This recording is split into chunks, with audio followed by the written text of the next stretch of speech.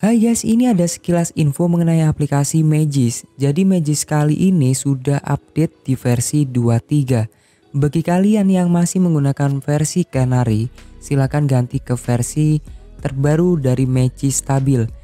Karena di Magis ini sudah ada perbaikan dari bug di versi sebelumnya, seperti perbaikan safety net API, perbaikan aplikasi yang error ketika menginstal beberapa aplikasi, Magis Hide tidak berhasil, kemudian ada update Busybox-nya, kemudian Magis ini sudah support di Android 5 ke atas.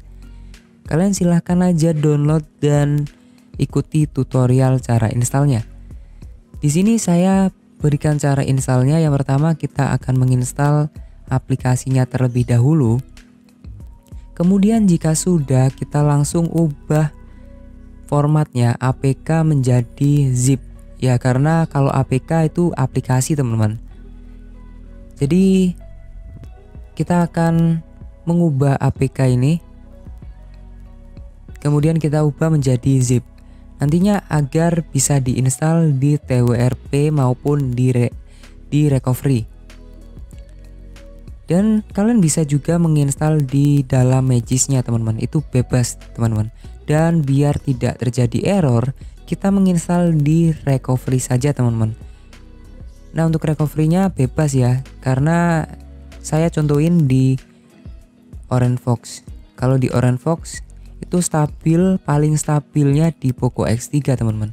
Ini HP-nya Poco X3 ya. Jangan tanya lagi, oke? Kemudian kalian cari file yang kalian ubah tadi dan kalian install seperti biasa. Kemudian jika sudah, kalian tinggal reboot sistem. Dan seperti ini kita cek dulu. Ini dia Magis terbaru dari versi 23. Magis ini stabil ya teman-teman. Seperti yang saya bilang tadi, ini perbaikan dari bug di versi sebelumnya. Karena di versi sebelumnya itu terjadi error di safety netnya. Jadi ada tulisan API error ya seperti itu. Dan kali ini sudah diperbaiki, kalian bisa mencobanya. Dan untuk caranya ya seperti ini, ikuti aja videonya nanti otomatis safety netnya sudah berhasil. Seperti ini. Dan kalau untuk hide aplikasi seperti aplikasi m-banking saya contohkan di Kredivo ya teman-teman. Jadi kalian bisa centang aplikasi Kredivo Kredivo-nya seperti ini. Kemudian kalian bisa cari aja. Kalian cari seperti ini kalian nonaktifkan semuanya. Oke. Kemudian kalian bisa cari lagi. Kalian buka magisnya dan kalian tinggal hide magisnya. Nah, seperti ini. Ini namanya bebas, teman-teman. Jadi terserah kalian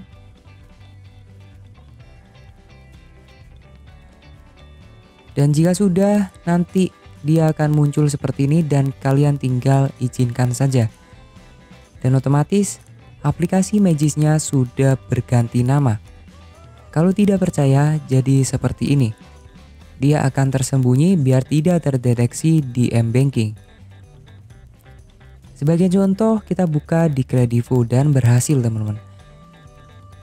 Dan kalau kalian ingin menginstal modul, untuk menginstal modul seperti ini teman-teman, kalian pilih di bagian pojok kanan bawah Kemudian kalian bisa pilih install dari penyimpanan. Dan di bagian ini nanti kalian bisa cari modul yang kalian download. Sebagai contoh kita cari dulu modul unlock grafik yang bisa memperbaiki atau mengunlock grafik di game tertentu teman-teman.